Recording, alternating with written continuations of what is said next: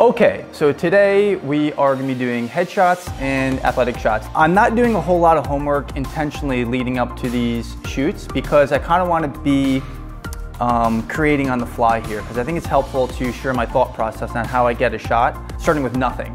This is a relatively new studio space that I'm working in. I'm just getting a feel for what kind of light I even want to use, if it's natural light or artificial light. Based on the light coming through right now, this is like incredible natural light. So we're gonna try to find our angle. This has potentials though for like some really nice light. Like this might work. Okay, so the backlight that was coming out of the window was really bright.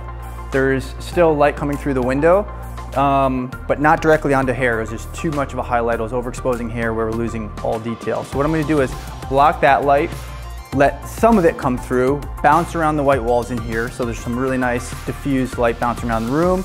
And then I'm gonna use a strobe with a strip box, a one by three soft box, as a hair light. Honestly, the longer, the part that takes more time is lighting. The part that is the quickest is actually getting the shot. Here is where we're at right now with lighting. Natural sunlight coming on this side, and then artificial light on this side, and now I'm gonna add an overhead light to sort of balance out light on face. Check it out, we have this as an overhead strip box light. We have a hair light behind. These are both one by three soft boxes. And then we have a lot of natural light coming through the back window. There's a really fine balance with actor headshots and model shots.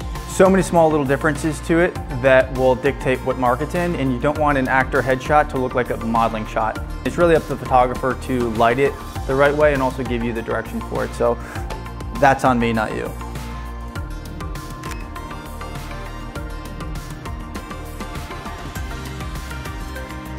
Good. Yeah, you know what? You're gonna get great shots. Okay, if you get an idea of lighting, obviously these are test shots. She's 21. We want to keep her about age appropriate, maybe even a little bit younger for the parts that she auditions for. I don't want something that's too moody or dramatic. I like the lighter background. It just happens to be the natural white behind her. So we're gonna keep things about like this. Okay, the working goal with this, and you're gonna hear me say this in almost every video, the working goal is to get three to five amazing shots out of each look. If you go past the three to five mark, you're gonna start repeating what you already have. So when you're shooting with people, anything for that matter, be confident in knowing what you have when you have it and to cut it and go to the next. Your clients will pick up on your insecurities if you're not sure that you do have it and trust your instincts. And a good way to navigate this decision making is actually share your pictures with your client and go through them together and let them make decisions too. Oh, really, I really like this. I don't like this. Can we try this? This way, you kind of have a collaborative effort and moving forward to the next look and not wasting time and energy. Great. Yep, chin down to touch. This, you're right there.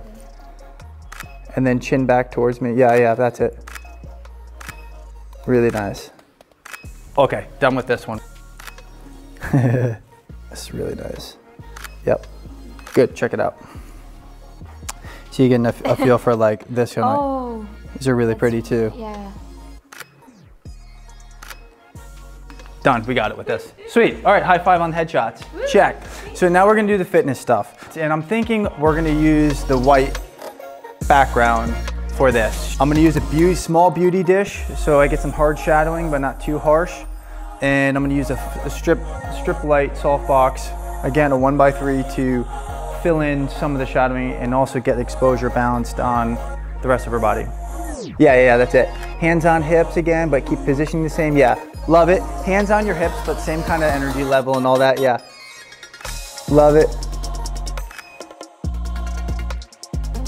Okay, so we are doing another fitness shot and this is gonna be something a little bit more moody, a little bit more editorial feeling. What we ended up doing was, you can see in the background, I threw in some textured gray canvas backdrops and we have a black board that she's leaning up against. So I've got her hair light here and a beauty dish here as her main light.